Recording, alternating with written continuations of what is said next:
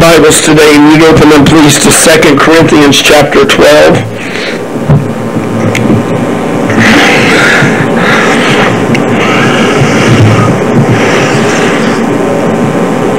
Second Corinthians chapter 12, beginning at verse 1, and we stand in honor of the reading of God's Word. I read from the King James text, otherwise known as Old Faithful. It is not expedient for me, doubtless, to glory. I will come to visions and revelations of the Lord. I knew a man in Christ above 14 years ago, whether in the body I cannot tell, or whether out of the body I cannot tell, God knoweth. Such an one caught up to the third heaven, and I knew such a man, whether in the body or out of the body I cannot tell, God knoweth. How that he was caught up into paradise, and heard unspeakable words, which it is not lawful for a man to utter. Of such an one will I glory. Yet of myself I will not glory, but in mine infirmities, infirmities. For though I would desire to glory, I shall not be a fool. For I will say the truth, but now I forbear, lest any man should think of me above that which he seeth me to be, or that he heareth of me and lest I should be exalted above measure through the abundance of the revelations. There was given to me a thorn in the flesh, the messenger of Satan sent to buffet me, lest I should be exalted above measure. For this thing I besought the Lord thrice, that it might depart from me. And he said to me, My grace is sufficient for thee, for my strength is made perfect in weakness. Most gladly, therefore, will I rather glory in my infirmities, that the power of Christ may rest upon me. Therefore I take pleasure in infirmities, in reproaches, in necessities, in persecutions, in distresses for Christ's sake. For when I am weak, then am I strong. Master, we thank you, God, for this day. We thank you, Lord, for your word. For today, the word of God is exalted above all else. Jesus, as we strive to break the bread of life, we desire to hear from heaven today. God, if ever I've needed the anointing and presence and power of the Holy Ghost, I need it today. Lord, there's nothing that I can say that would help anyone or be a benefit to anyone. But Lord Jesus, by the anointing today, you're able to break the rock in pieces. You're able, God, today to loose the bands that bind. You're able, Lord, today to deliver the captive. You're able today to heal the sick and cleanse the leper and raise the dead by your very word that would go forth. Lord, anoint us this hour to declare your word boldly and plainly in love that it might be received by the hearer. Anoint the ears of the hearer to receive that which the Spirit today would speak unto the churches. For we ask it in none other than Jesus' precious name. Amen. Praise God and amen. You may be seated this morning. And if y'all can just bear with my squeaky voice, hopefully by tonight it'll improve a little bit. If you ever notice, sometimes the greatest irritations in our lives, sometimes the cause for the greatest discomfort in our lives, in fact, can be something as small and minute as a poppy seed that's stuck between our teeth. You ever notice that? The other day I had a little something just caught up between my teeth. And boy, it was hurting and it was irritating and it was driving me crazy. And I thought to myself, isn't it amazing that something so small can be such a huge discomfort, can be such a huge problem, can cause such great pain. But that's the way it is, not only in the natural realm, but that's the way it is as well in the spiritual realm. The Apostle Paul tells us in 2 Corinthians chapter 12 that he is a man with quite a history and quite an experience with God. He says, yes, I've had lots of visions. I've had lots of revelations from the Lord. I've experienced many things from God. He said, but I know some who've experienced even more than I have. Amen. You know, I love people who think they're so spiritual that they have nobody next to them that can compete with all that they've experienced with God. I love people who think themselves so great and mighty in the Holy Ghost that nobody can possibly begin to imagine the things that they have experienced with God. You ever met somebody like that? Amen. They can tell the stories, but the minute you start telling the story, it's like, oh, no, no, no, but you don't get it. I'm way better than, I've got, my experience goes way further than that. Paul acknowledged in our primary text this morning, he said, yes, I've had a lot of experience. Yes, I've had a lot of revelation. Yes, I've had a lot of visions. He said, but you know what? I could point you to some that I know that have had a lot more than I have. I thank God I know people in this life that I can look at and say, I believe they have a whole lot more than I do. Hear what I'm telling you today? Anybody that knows me knows that I idolized Brother Gillum, that he was a he was a mentor of mine, and I just adored him and thought he was wonderful. And Brother Gillum, I wished I had everything Brother Gillum had. I wished I had the experience Brother Gillum had. I wished I had the ministry Brother Gillum had. I wished I had the life that Brother Gillum had, but I don't. That's okay, because God didn't call all of us to be exactly the same. We're not all supposed to be little clones floating around, living the same exact life and doing the same exact things. And, have, you know, that's the way some churches teach. We're all supposed to look identical. We're all supposed to act identical. We're all supposed to talk identical. We're all supposed to wear the same kind of shoes. We're all supposed to have the same kind of hairstyle. Well, that's not really how it works. Diversity is part of God's kingdom. People coming from different places and different experiences. We don't all have the same. We don't come in with the same, and we're not going to walk out with the same. That's the way life is. But I thank God there are people that I can look at and say, you know what? I've had a marvelous ministry. I've seen God do great things. But boy, I'll tell you what, I could point you to a preacher I knew, and I wished you could have seen his ministry. Yes, amen. I wished you could have seen J.T. Gillum.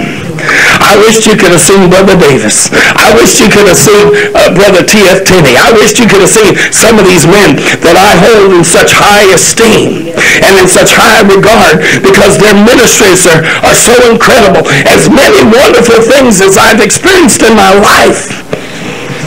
I've never experienced like Brother Tenney did. I've never been invited to preach in a in a group of Jewish theologians who wanted to know what is this belief you have in one God? What is that about? Explain it to us.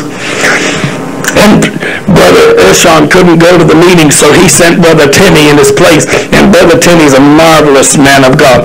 And Brother Tenney went there and he preached on the oneness of God in Christ and Jesus is his name. And out of 1,200 people that heard him, 800 were baptized in Jesus' name. Jewish people. Yes, amen believed this Christian gospel because that message they could embrace. They said we couldn't embrace that other one. We couldn't quite get that. That other one is contrary to our Jewish background and our Jewish teaching, but what you're teaching is in perfect compliance with Jewish teaching. I got news for you. The true Christian gospel is in perfect compliance with Jewish teaching. Do you hear what I'm saying? The true Christian gospel is in perfect compliance with Jewish teaching. If it wasn't, the Christian church wouldn't exist today because it was founded on the back of a bunch of Jews. Amen. That's right. Amen. The reason they could believe the gospel then is because we they preached it the way we're preaching it, not the way some of these others are preaching it in the world today. And if we were all preaching it the way we preach it, there'd be a lot more Jews in the church today. Yes, amen. And the reason during the tribulation that there's going to be a whole lot more Jewish people coming into the church is because by the tribulation, there's going to be a lot more of us than there are of them. That's right. Amen. Because a lot of people are going to realize the error of their ways, and they're going to say, you know what? We've been standing around like a bunch of dummies preaching a doctrine that was originated in Rome, Yes, amen. didn't have anything to do with God's truth, didn't have anything to do with God, but it originated in the heart of the early Roman Catholic Church, and we've been preaching this doctrine, and we've been, we've been defending this doctrine, and all of a sudden they're going to realize that was an error. And they're going to start preaching the truth about Jesus Christ. The truth about Jesus Christ is He was God. Amen. Not God the Son. You'll never read that phrase one place in Scripture. Not one time will you read the phrase God the Son. Not one time. Not one time. But you will read in Isaiah 9 and 6, His name shall be called Wonderful Counselor, the Mighty God, the Everlasting Father, the Prince of Peace. The same one we call the Prince of Peace is the same one that's called the Everlasting Father. The same one we call the Prince of Peace. The same one we call Counselor, we also call the Almighty God. Amen. Unless you want to make the same error as the Jehovah's Witnesses and try to separate and try to, uh, to say, well, he's the Almighty God, but the Father is the Mighty God. Then you fall into the same error as some organizations that have long ago fallen into heresy. And my friend, you need to be careful. Now, I told you this morning, you come into this church, you better expect truth, because that's what I'm going to hand you. Amen. I don't mince words with it. I don't play with it, because this is what the Word of God teaches, and we're going to preach it that way, and that's the way it's going to be. Amen. I want you to know, sometimes the most troublesome things in our lives are little things. They don't have to be big things, but they sure can cause us big trouble. Sometimes little tiny things can cause us the biggest amount of grief. And the best way to deal with it is this stuff right here. Dental floss. Here you go. Pass that back for me. See that little string? That little string can bring you relief, can it? that little string can sure help you to feel better when something's troubling you. That little bitty piece of string can sure help you to walk out of the restroom feeling a lot more comfortable and a lot better than when you went into it. Amen. I want you to know today, my friend, that God has given us our faith and it is our obedience to that faith that serves today as the dental floss that is able to wipe every demon out of your soul that would try to trouble you, every spirit that would come against your mind, every demonic presence that would try to come against you and tell you that you have no place with God, that you have no right to approach God, that you do not have the ability to come before the presence of God. I'm telling you tonight, when the devil comes against your mind, whip out the floss, hallelujah. It's a little bitty problem trying to cause you a big annoyance, hallelujah. And all we need to do is walk in faith and obedience, and we can floss that devil right out of our teeth, amen. They used to sing an old song, I'm going to wash that gray right out of my hair. Well, we'll make a new one. I'm going to floss that devil right out of my teeth. Okay? You can floss that demonic power right out, uh, right out of your teeth, right out of aggravating you and causing you discomfort and pain. The Apostle Paul said, lest I should be exalted above measure through the abundance of the revelations. He said, folks, I've had great experience with God. God's revealed many things to me, but at the same time, just to prevent that abundance of knowledge and revelation from causing me to become puffed up and bigger in my mind than I ought to be. He said, there was given to me. He didn't say this thing came and attacked him. He said it was given to me. A thorn in the flesh the messenger of Satan sent to buffet me, lest I should be exalted above measure. Has God ever placed something in your life that's caused you a lot of frustration and aggravation, and sometimes you wished it wasn't there? But you know what? It may be demonic. It may be that the devil tries to torment you over it, but the truth of the matter is God's put it there. You hear me today? It's a gift from God. Amen. So, oh, Brother Ma, thank you, Jesus. Hallelujah. It's the gift of God. Yes. It's there by design to keep you humble. It's there by design to help you remember your need for God's grace. It's there by design to help you never to lean upon your own right arm, but always to lean upon Him. It's there to remind you that you can't do it, but He can. It's there as a reminder that you are nothing but he is everything. Amen. Oh, friend, I'll tell you, if people would only realize in our community that there are things in our lives that we have no control over, but you know what? It's a gift from God. God has put it there on purpose. It serves His purpose. It serves His function. It's doing His will. And if you'll just let it and learn to live with it, you know what? You'll have a more wonderful, peaceful life than you've ever had in your entire existence. Amen. Say, what? I've got to make peace with the devil? Sometimes you do. Sometimes you got to learn to live with the enemy. Amen. You hear me today? Oh, Brother Ma, that's not in keeping with, with victory theology. Now, you're, you're, not, you're not preaching like some of these other preachers do, that God will deliver us from everything that the devil ever throws at us. Well, that's funny. Of course I'm not preaching that because Paul didn't preach that. Paul said, I asked the Lord three times to deliver me from this, and God's answer to me was, my grace is sufficient. Brother, these preachers that run around saying God will deliver you from everything and anything, these are the same nit nitwits that are telling gay lesbian people that they need to change and be straight. These are the same nitwits that are telling people that they can't be who they are and that issues in their lives ought not to be. It's telling people who have addiction uh, issues and addictive personalities that they shouldn't have that because after all, that's a weakness and that's something that shouldn't be part of the life of a child of God. And God forbid that a child of God needs support to stay sober or to stay clean. Oh my Lord, have mercy. I talked to somebody in our that wants to come to our church this week.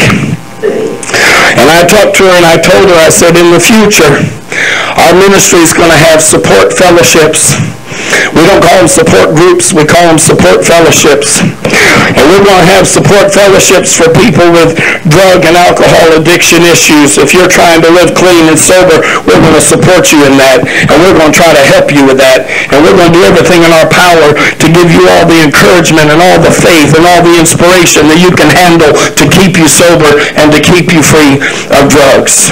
And she said, praise God. So many churches, they act like, well, but if you're a child of God, this should never be an issue for you. If, this, if you're a child of God, you should never have a problem with this. Boy, I'd like to know where these people got their salvation, because Paul sure might like to have gotten it. he sure didn't get the same salvation they got. Because God didn't deliver Paul from every trouble that troubled him.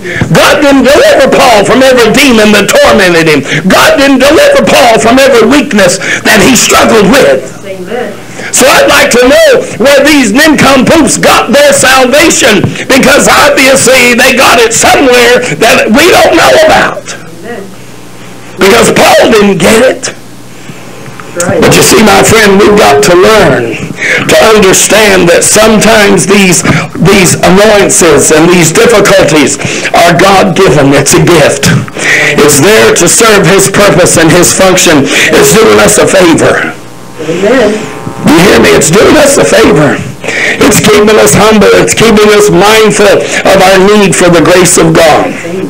I don't know about you, but being who I am helps me every day. Remember that. Yes, amen. amen. Just waking up in the morning, I'm, I'm immediately reminded that I need the grace of God. Say, why, Brother Marl? Because you believe that who you are is a, a big sinner and that, no, that's not what I said. Hmm. But you know what? As long as there's people in this world that think that who I am makes me the biggest sinner in the world, you hearing me today? You see, the devil doesn't always torment you with truth. Oh, that's right, amen. You hear me today? The Bible said that he's a liar and the father of lies. I didn't say the devil always torments you with truth. A lot of times he torments you with the biggest falsehood and the biggest lie that ever was uh, uh, ever was made, that was ever perpetrated on humanity. But that's part of the process. That's part of the reality that we face every day. We have to deal with these lies. We have to deal with these falsehoods. We have to deal with these untruths. But true or false, it reminds me regardless of my need for God. And I look and say, when somebody comes to me and say, well, don't you know blah, blah, blah, blah, blah, and they're telling a bunch of fibs and lies, I'm able to turn to them and say, but don't you know God's grace is sufficient for me? Hallelujah. Don't you know that God's grace is able to keep me? Don't you know if I believe this thing and embrace this thing and walk in this thing that God will not fail me? That's right, amen. Glory to God. I want you to know today, listen to what the word of the Lord tells us. Philippians 4.13, something we're all familiar with. I can do all things through Christ, which strengtheneth me. I can do, I can do, I can do, not Christ can do. That verse doesn't say Christ can do all things through me. It says I can do all things through Christ. That means it is not the tasks that the Lord needs done that we're promised strength for, but it's the tasks that we need to do that the Word of God tells us we'll have strength for. Too many preachers twist this verse out of context and make it say something that it does not. Right, amen. It is not what God needs done that He's promised us the strength for. It's what we need done. I can do all things through Christ. I can stay sober. I can stay drug free. I can stay clean. I can stay victory living. I can do what I need to do. I can do it. Hallelujah. Because Christ gives me the strength to do it. Glory to God. You know, I hear preachers, they have people stepping up to things they should never stepped up to to begin with because not anything needs to be done, not anything they need to be doing. The Bible said, I can do all things through Christ, so you just go lay hands on that Cadillac and it's yours. You big donkey, go lay hands on that Cadillac and see if next month you aren't driving the same old Volkswagen you're driving today. But that preacher's going to be driving the Cadillac because he got your money. Mm-hmm. I can do all things through Christ, which strengtheneth me. If there's something that comes my way, this is why I don't believe like the snake handling churches do. You know, they take quite literally in Mark. Yeah. The scripture said they'll take up serpents, and if they drink any deadly things that bless God, they bring them into the church. Woo! Sling those snakes around. No, I can do all things through Christ, which strengtheneth me. But you know what? I don't need to be doing that. That's stupid. There's absolutely no need for me to be dragging snakes into the church. That isn't proving nothing to nobody but me. And I already know I'm a child of God, so I don't need to hold a snake to prove it. You hear what I'm telling you today? I'm going to tell you, if I'm like this one preacher, I remember a Church of God preacher years ago, and he talked about he was driving to a meeting. He was an evangelist, and he was driving to a meeting. I believe it was in California. He was going through the desert. He said all of a sudden the tire blew on his car, and he, the car kind of pushed its way over to the side of the road, and he got out of the car, and his wife's in the car. He said, I went back to where the tire, that I needed to change was, he said, and there within six inches of that tire is the biggest, ugliest rattlesnake I ever saw. Said, now here we are. We got to get to that meeting. We don't have a lot of time to kill. We don't have a lot of time to waste. He said, so I just said, I can do all things through Christ which strengtheneth me. He said, I reached down and grabbed that old thing and just lifted it over my head and threw it out into the desert and changed my tire and went on my way. Now that I believe in. If you need to do it, the strength is there to do it. But if there's no need, then don't try. Hello now. If there's a need to do it, God will give you the ability to do it. But if there's not a need, then friend, you're just making a fool out of yourself. I remember a man years ago in the assemblies of God that I grew up in who got converted and he was a neighbor of ours. And he had a lot of zeal and no wisdom. You've heard the old saying, zeal without wisdom, right? Well, I mean, he was zippo, zilcho, nada. This man had no wisdom, bless his heart. He just had all kind of faith and all kinds of zeal. And one day he decided he's going to take his jacket off down at the local state park, and he was going to slap that jacket of his down in the middle of the brook and make it part like the prophet did in the Old Testament. Bless God, just going to take my jacket and slap. And the water's going to part because I believe it will. The Bible said if I believe it enough, it'll happen. There's only one principle, Mr. Canfield, that you forgot. And that is that uh, if there's no need, Yeah, that's right. then there's no power. Yeah. You hearing me today? If there's no need, there's no power. If the need were there for you to do that, God would do it for you. But there was no need, so you're just standing there making a fool out of yourself. We got a lot of people running around in the world trying to make magic happen and using the name of Jesus like a magic talisman. That's not how it works. Amen.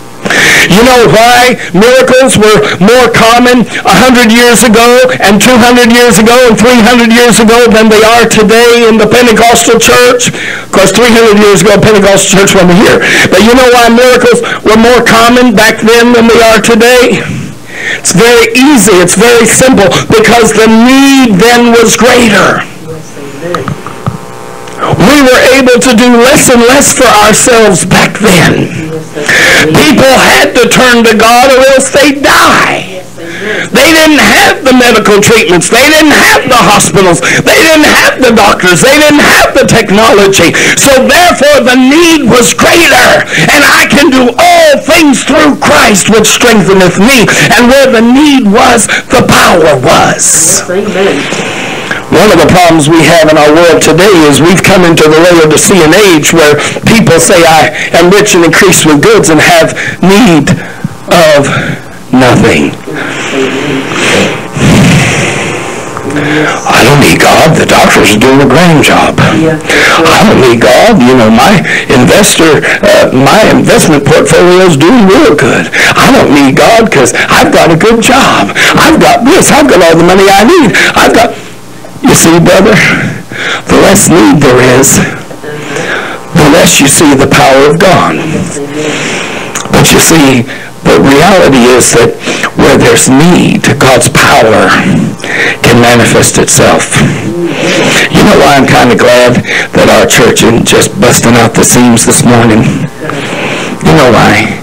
Because that means we need God's help. That means we've got to rely upon God. That means we have to lean on the Lord to get this thing done. That means we can't possibly do it on our own and then just give credit to God. No, when God gets the credit, he's going to get the glory because he did the job. Hallelujah. When it really comes to pass and this thing really happens, it's really going to have been God. Amen. And I like that. So that's okay, Lord. Sometimes it's not a bad thing to be on the needy end of need. You understand what I'm telling you today? Sometimes it's not a bad thing to be on the needy end of need. Because when you're on the needy end of need, you're on the strong side of God. And You're on the side where things can happen. You're on the side where miracles take place. You're on the side where provision comes. Remember old Elijah?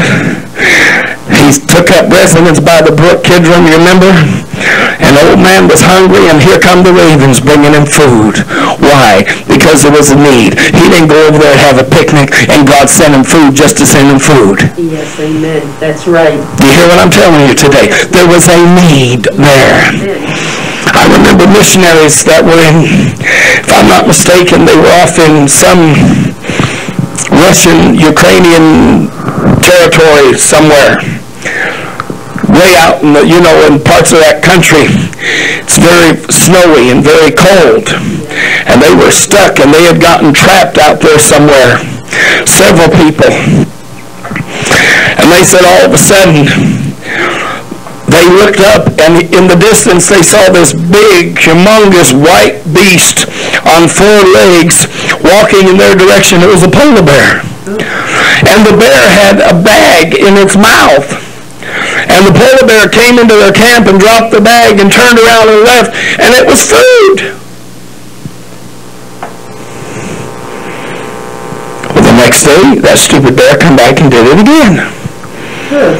And that bear did it until they were found. When they were finally found, the people said, you wouldn't believe this.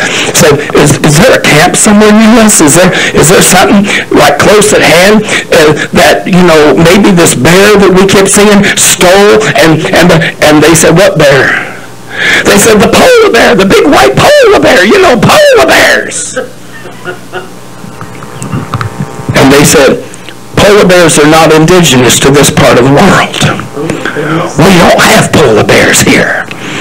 Oh, but children, they had polar angels. Hallelujah. And angels are always clad in white. Hallelujah. I'm here to tell you where there's need, God is strong. Where there's need, God is able. Where there's weakness, God is able. Oh, children, don't you let that little seed in your teeth bother you. Sometimes that's the very thing you need for God to be on the giving end, for God to be on the strong end, for God to be on the powerful end, the provisionary end. Hallelujah. Lord, I get so tired of being broke. I lost my income. Uh, I'll tell you more plainly. I was on disability. And I figured, oh well, I hate disability. Can't stand it. But I said, you know what? My pa- my pastor, my uh, doctor told me years ago, I went through a hospitalization, nearly died. Be six years ago in October. And uh, my doctor told me, he said, after everything I've been through and everything, he said, you don't need to be trying to work and pastor. He said, pastoring's hard enough. He knew.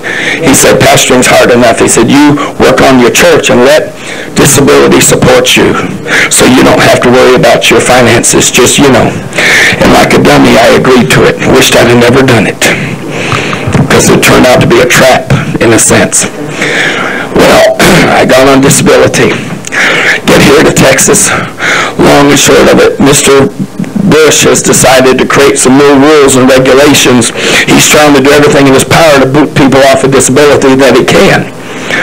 But see, what he doesn't take into account is that all these people he's booting off of disability, you can't just very easily slip over into a profession that'll provide you with all the income and benefits and whatever that you need to compensate for, for the benefits that you had while you're on disability. So really creates a huge vacuum and it causes an, an enormous problem. In January, I was booted off of disability. And I've appealed to a U.S. Senator to try to get it reestablished. I said, Lord, just till my church can support me full time. That's all I want. I don't want it forever. I just want it till the church can support me full time. But it's been nine, nearly nine months, and I've had no income. None. Contribute to the church because I don't have anything. I used to be able to. Uh, I can't pay my own rent. I mean, a lot of difficulty. But you know, I've learned a long time ago that where there's no need, God can't do much. Amen. You hear me? If there's no need, then God can't do a whole lot. So sometimes you're better off on the needy end. Because it's only when I've been in this place that I'm at right now that I've been able to see God do great things. That I've seen God provide in ways that I couldn't even have imagined. I've seen miracles come. Had an old van that I tried to sell for a couple of months, had signs on it and all this. Couldn't sell that thing for love of money. Couldn't, couldn't get anybody even call on it. An old Dodge minivan. Couldn't get anybody even look at it. Not one call in the entire time. Then all of a sudden I'm driving down the road, the van dies. I had to push it out of the road. Oh, I was five steps from cussing, let me tell you. I was just, mm. Had to push that booger out of the road, push it out of the road, push it into a parking lot of a, a little strip mall. Now I'm trying to figure out how in God's green earth am I going to get that dumb van running again? How am I going to be able to afford to get that van running again? What happens? Somebody sees the number on the sign on the van, because I had the church signs on it, calls me up and says, I'd like to make you an offer on that van. I said, are you aware that it's broke down, it's not running? Yeah, that's okay. Excuse me, the dumb thing was running fine just a month ago. I was trying to sell it a month ago, and nobody would even call me on it. Now it's sitting there dead, and you want to buy it? Yes, amen. Yeah. Well, you know what? The time was just right. Because I needed to pay some things. I needed to get some bills paid. I needed, including part of the rent here at the church. And you know what? When I sold that van, it just took care of one whole month's worth of worth of our needs. Amen. So you see, God knows what He's doing. Where there's need, God can move. If the, I can't make this a point enough. I want you to understand. If you have everything, then honey, you don't need nothing. If you don't need nothing, then you don't need God. What need have you for God? Paul said, no, I had a thorn in the flesh, a messenger of Satan sent to buffet me. I had a poppy seed up in my, on my tooth, and oh man, it was driving me nuts. But you know what? It reminded me of my need for God. It helped me to remember that in every circumstance, in every situation, I always need God. Because if everything was going perfect, Tommy, and if everything was going grand, and you had all the money you needed, and you had all the everything you need, you know what? You'd forget God so fast you had to turn around. That's right. Yes, amen. Do you hear me? That's right. Did not the Laodicean church say, I'm rich and increased with goods and have need of nothing? All of a sudden, boy, God was off in the distance. They forgot all about him. Uh-huh. Forgot all about him. I don't need nothing. I don't need God. I don't need nothing. I don't need church. Why do I need church? I'll tell you, some of the best church folks you're ever going to have are poor folks. Amen. Right. Amen. Yeah, you give them wealthy Christian folks that some of these preachers and teachers run around telling you about, and they'll be out on their boat on Sunday morning. Yeah, they'll be out at their vacation house on the weekends. But you know what? You take them poor folks that live every day with a little bit of need in their life, and they're more than happy to come to the house of God. They're more than happy to come into the church house. They're more than happy to get down on their knees and seek the face of God and say, Lord, I need. I need you. I need your help. I need your strength. I love members that are folks who've lived with addiction issues. I love folks who've lived with alcoholism and drug addiction. You know why? Because they know what it is to need. Because they've got that little thing stuck up in their tooth that irritates them just enough to remind them that they need God lady I met this week, what did she say? She said, she said, I am in recovery.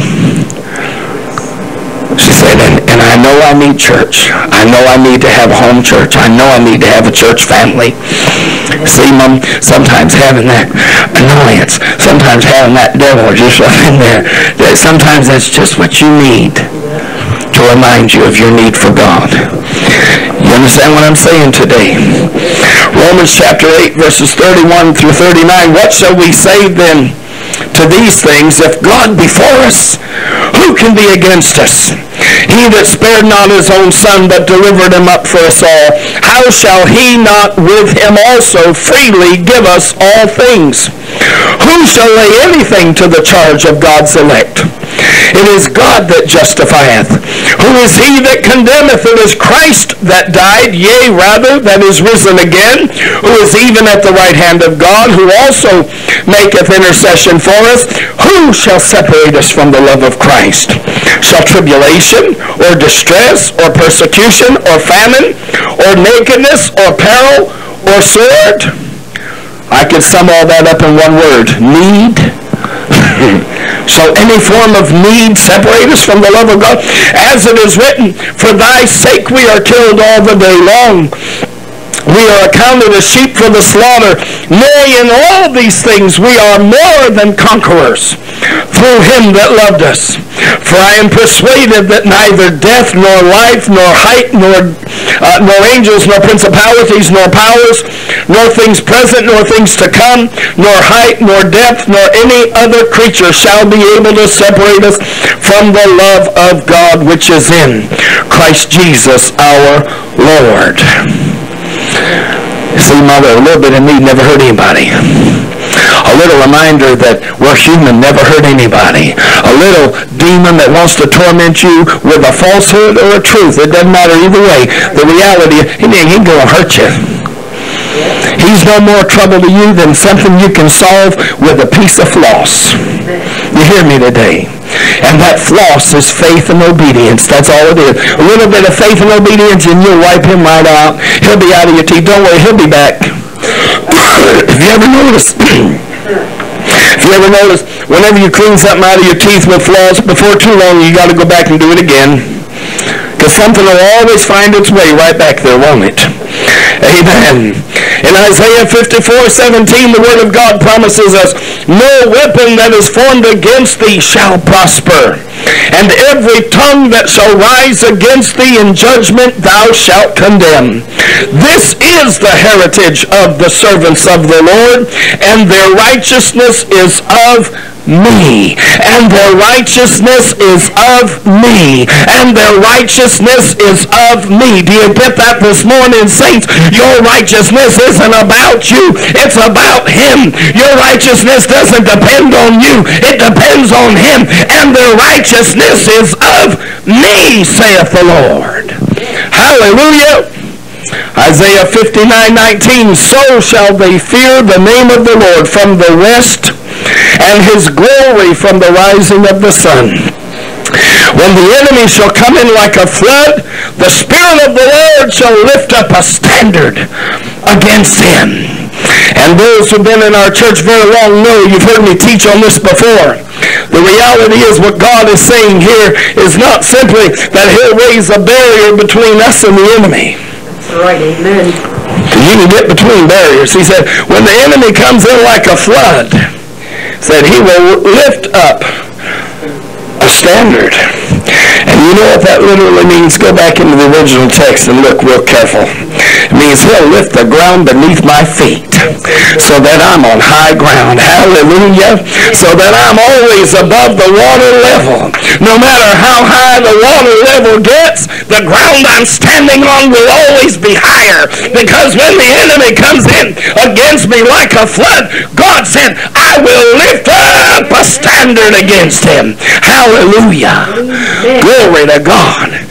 Sometimes you feel the enemy coming against you and there's great need and you say, oh Lord, I need. And God says, I know what you need. And just about then you feel the earth begin to shake and you feel things begin to rattle and all of a sudden the ground you're standing on begins to rise high up toward the sky and the water is well beneath you where it cannot harm you.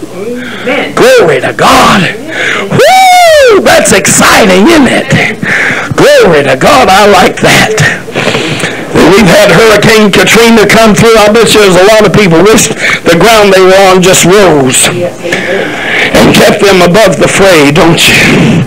Above the flood. Zechariah 4 and 6, the word of the Lord said, Then he answered and spake unto me, saying, This is the word of the Lord unto Zerubbabel, saying, Not by might, not by power, but by my spirit, saith the Lord of hosts. Hallelujah. God, mother, when we need strength, God don't have to give us strength. What he has to give us is his spirit. Because when he gives us his spirit, the strength is the byproduct of the presence of his spirit. Do you hear what I'm saying? When we need faith, guess what? God don't have to give us faith. All he has to do is send his spirit. Because his spirit comes and the byproduct of the presence of the Holy Ghost is faith. Hallelujah. You ever been in a place where you didn't know where to go and where to turn and what to do and you went and you found yourself in the presence of God and all of a sudden you had faith you didn't know where it came from. You had zeal you didn't know where it came from. You had enthusiasm you didn't know where it came from. You had inspiration you didn't know where it came from. All because you were in the presence of the Holy Ghost. Hallelujah. Glory to God. Woo! That's the byproduct of being in the presence of God's Spirit. Say, Brother Moore, you told us. He said, He'll give us, the Lord gives us strength to do what we need to do for ourselves. But is there anything in the Word of God where God helps us with the work He asks us to do? Oh, yes. The promise to those who are doing the Lord's work is found in Isaiah 40, 28 through 31. Listen. Hast thou not known, hast thou not heard, that the everlasting God, the Lord, the creator of the ends of the earth, fainteth not, neither is weary. There is no searching of his understanding. Listen to me now. He giveth power to the faint, and to them that have no might he increaseth strength. Even the youths shall faint and be weary, and the young men shall utterly fall. Oh, but they that wait upon the Lord shall renew their strength. They shall mount up with wings as eagles. They shall run and not be weary.